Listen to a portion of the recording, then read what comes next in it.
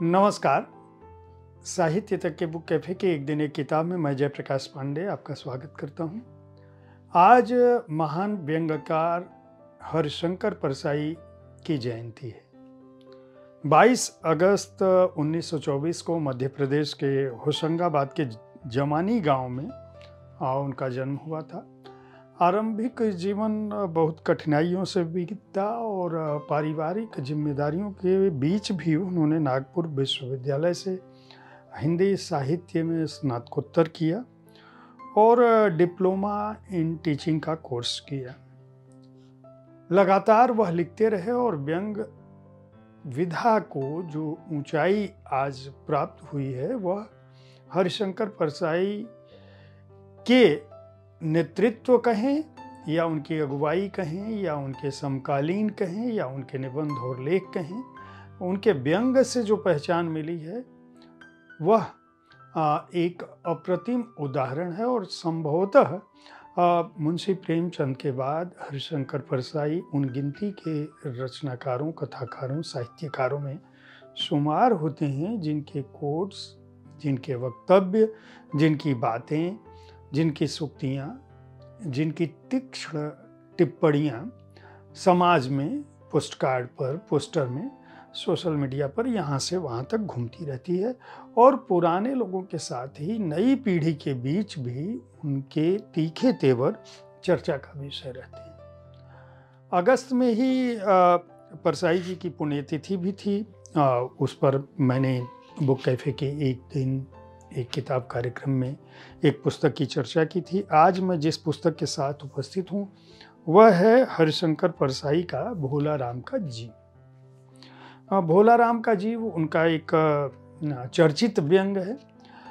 इस संग्रह में वेद प्रकाश ने इसको संपादित किया है और परसाई जी के तैंतीस व्यंग शामिल हैं इसमें। जो तैंतीस व्यंग हैं, वो सारे के सारे अपने शिल्प अपनी विधा, अपनी टिप्पणियों को लेकर इतने चर्चित रहे हैं कि इनमें से हिंदी साहित्य की समझ रखने वाला या जो व्यंग में जिनकी रुचि है या जो समकालीन सियासत पर जिन लोगों की नज़र रहती है, वो, उनमें लगभग सभी लोगों ने इसको पढ़ा होगा। परसाई की दृष्टि से चाहे वह भारतीय राजनीति हो, धर्म हो, दर्शन हो अर्थतंत्र हो संस्कृति हो समाज हो आ, समाज की स्थिति हो प्रतिगामी शक्तियाँ हों या यथास्थितिवाद हो आ, उनकी जो व्यंग टिप्पणियाँ थी वह लगातार जीवन की विसंगतियों पर अपने समय पर समाज पर और सामाजिक पाखंड पर प्रहार करती रही। वो एक तरह से मनुष्य की पीड़ा के व्यंगकार रहे हैं और साथ ही साथ स्त्री, दलित, राजनेता सभी के या तो वो पक्ष में होते थे जो निर्बल है और जो सबल है उसके प्रतिरोध में रहते रहे।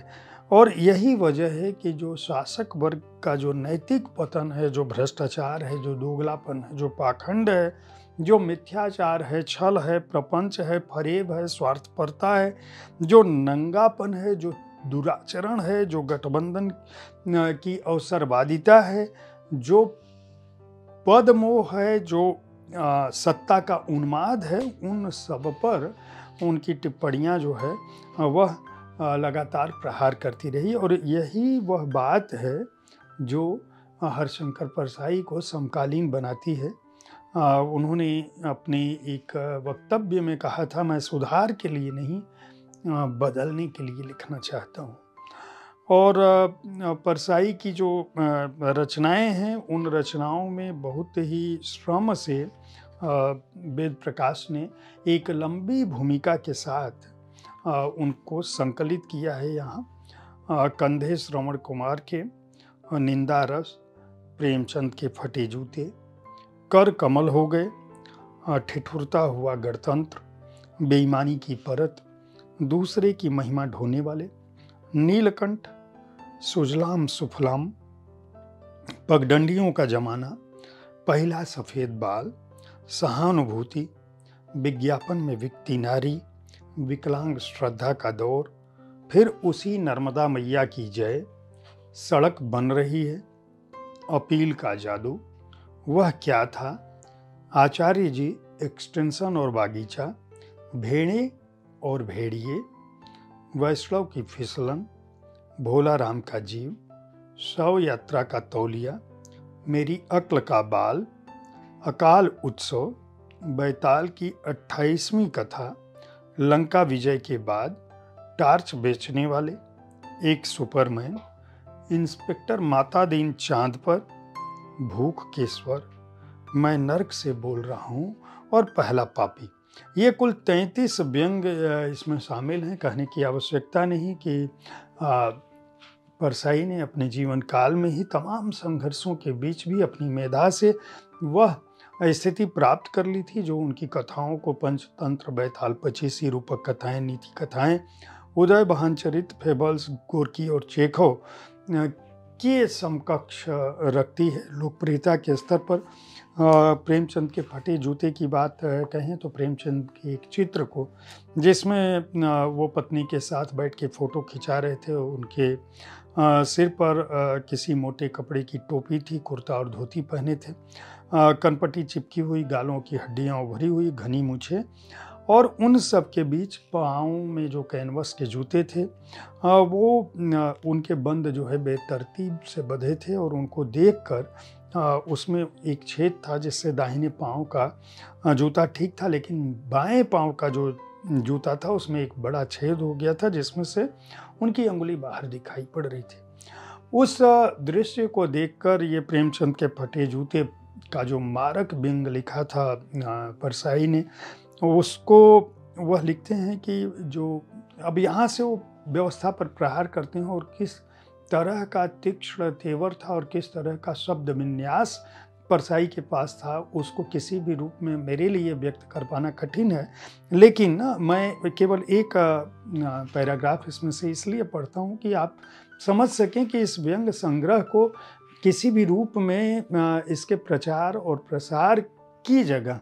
यह आपके ग्रंथालय में, आपके पाठ्य पुस्तकों की सूची में अवश्य होना चाहिए। वो लिखते हैं कि मैं चेहरे की तरफ़ देखता हूँ। क्या तुम्हें मालूम है मेरे साहित्यिक पुरखे कि तुम्हारा जूता फट गया है और अंगुली बाहर दिख रही है?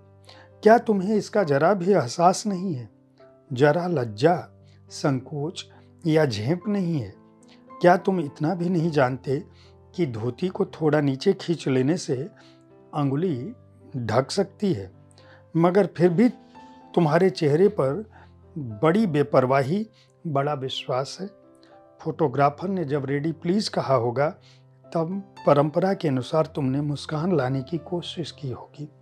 दर्द के गहरे कुएँ के तल में कहीं पड़ी मुस्कान को धीरे धीरे खींचकर ऊपर निकाल रहे होगी कि बीच में ही क्लिक करके फोटोग्राफर ने थैंक यू कह दिया होगा। विचित्र है, यह अधूरी मुस्कान, यह मुस्कान नहीं है, इसमें उपहास है, व्यंग है। यह कैसा आदमी है जो खुद तो फटे जूते पहने फ़ोटो खिंचा रहा है, पर किसी पर हंस भी रहा है। फ़ोटो ही खिंचाना था तो ठीक जूते पहन लेते या न खिंचाते? फ़ोटो न खिंचाने से क्या बिगड़ता था? शायद पत्नी का आग्रह रहा हो और तुम अच्छा चल भाई कहकर बैठ गए होंगे। मगर यह कितनी बड़ी ट्रेजडी है कि आदमी के पास फ़ोटो खिंचाने को भी जूता न हो। मैं तुम्हारा यह फ़ोटो देखते देखते तुम्हारे क्लेश को अपने भीतर महसूस करके जैसे रो पड़ना चाहता हूँ, मगर तुम्हारी आँखों का यह तीखा दर्द भरा व्यंग मुझे एकदम रोक देता है।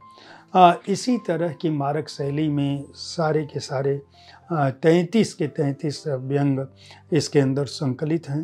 परसाई के पास जो नैतिक दृष्टि थी जो गहरा पर्यवेक्षण था जो अनुभव और अध्ययन था जो उनकी वैचारिकता थी वही उनको साहसी और आत्मविश्वासी बनाती है। हरशंकर परसाई जैसे कई परसाई को ज़रूरत हिंदी साहित्य की है। व्यंग विधा को साहित्य के मुख्य धारा में लाने में शरद जोशी के साथ जिन महनीय लोगों का योगदान था हरिशंकर परसाई उसमें से एक थे।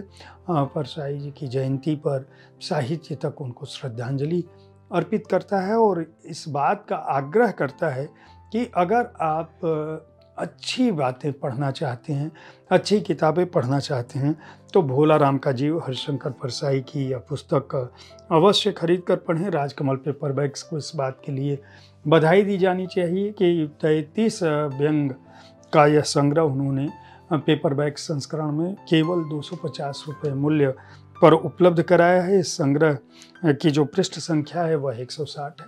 उम्मीद है साहित्य तक का यह एपिसोड आपको पसंद आया होगा।